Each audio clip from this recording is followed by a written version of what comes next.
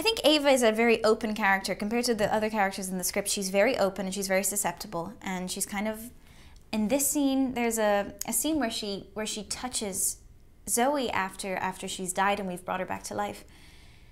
And Ava almost she's almost like a conductor or an empath for for the thoughts or the changes that have gone on in Zoe's head. So my character goes into this dream-like sequence or or the or the visions that Zoe's having in her head at that time and she's dealing with the with the power of Zoe's past, which comes in the form of a younger of a younger Zoe, um, Zoe played by Olivia, the wonderful Olivia Wilde.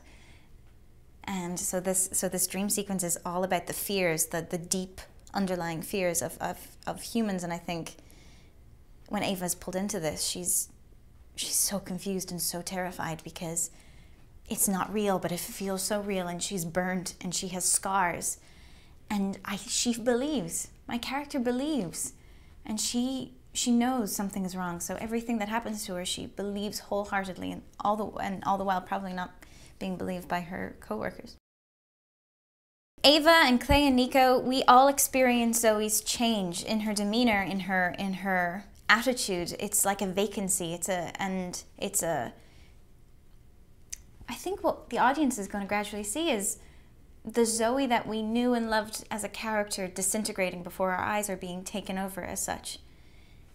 And these dreams, these nightmares in her head are coming forth. These are these projections are emerging from her from her subconscious. And I think that's part of the process of maybe bringing someone back. We have we left over open a portal for for other things, for other parts of you perhaps that didn't exist or were never allowed to exist to come through. And watching her watching her is, is so unnerving because she doesn't seem human anymore. She doesn't seem like the girl that we knew, yet she's pretending like she's fine, which is all the while more worrying. For me personally, when I read the script, I couldn't relate it to other films because it sort of, with being this intellectual thriller, with this wonderful horror, um, horror element, it sort of sparked something new for me in terms of filmmaking. And I mean, there's wonderful movies, and I'm a, I'm a Alfred Hitchcock fan all the way, and the idea of seeing less is more frightening than ever seeing um, than ever seeing everything planted on screen for you. And I think David's doing that a little bit. It's a little, it's a little, um, it's not smoke and mirrors by any stretch of the imagination, but it's, it's in your mind. It's scarier than than what you're seeing in front of you. And I think that's what we're trying to play with a little bit.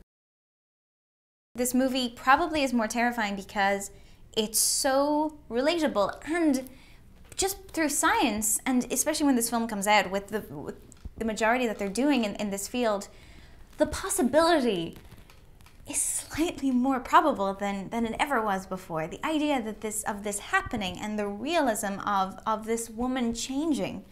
And there's no deformities. Um, immediately. There's that she looks perfectly normal.